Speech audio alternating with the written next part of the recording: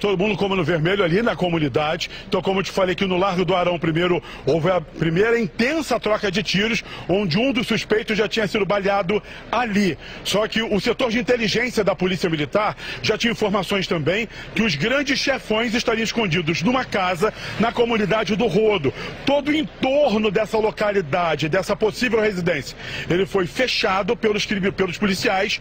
Houve uma troca de tiros muito intensa e parte desses esses bandidos atiravam pra, em direção à Avenida Martin Luther King Jr., onde também tinha polícia e também tinha equipe de reportagem ali, de uma forma para tentar afugentar.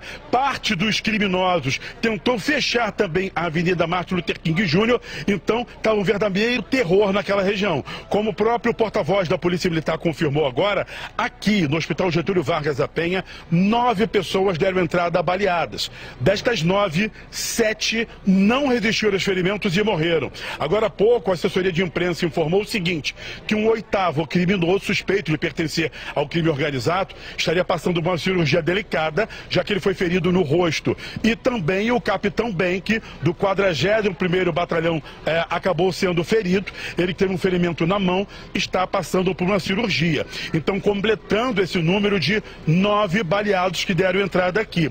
O que a gente trouxe até de informação foi que, aparentemente, pelo menos um um desses baleados poderia não ser ali da localidade de Juramento, porque também teve troca de tiros no complexo de Israel. Um baleado que teria morrido foi trazido para cá. Então ele também poderia estar englobado aí nesse número de nove mortos. Mas como o porta-voz da Polícia Militar acabou informando, são sete localidades no Rio de Janeiro que existem operações nesse momento, principalmente para reprimir a ação da criminalidade. No Morro do Juramento, eles estavam atrás atrás de traficantes de drogas e de armas que estavam concentrados. Eles também são roubadores de carros e de cargas nas principais vias e rodovias aqui no estado do Rio de Janeiro, Isabelle.